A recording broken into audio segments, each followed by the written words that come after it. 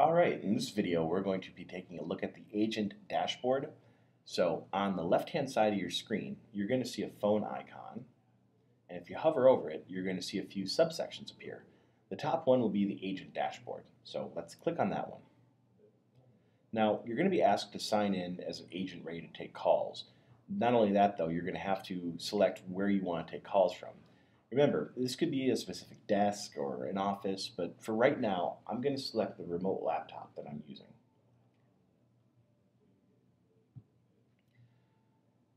Um, this will allow you to use the agent dashboard. So in a particular situation, I'm going to be using my laptop as the phone. So if a call comes in, I can handle all the calls from my laptop with a headset. Uh, in the upper left-hand corner, you're going to see the name track. Now this is where your company's name will be displayed.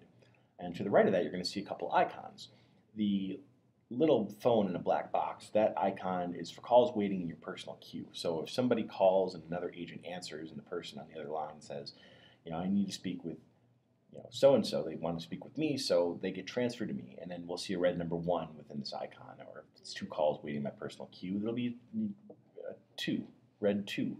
Um, black box with the white envelope is the open leads that are assigned to you, meaning any leads that you are currently working on.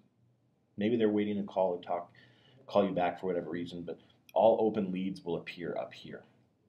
The chat bubble icons indicate recent leads, recent activity on your leads.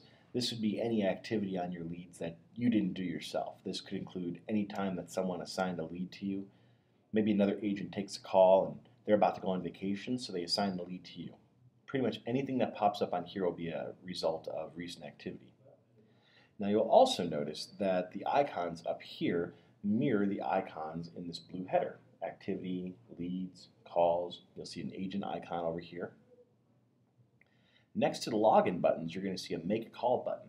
Now, when you click on it, you might be required to select a caller ID, and then you'll have to type the number in yourself.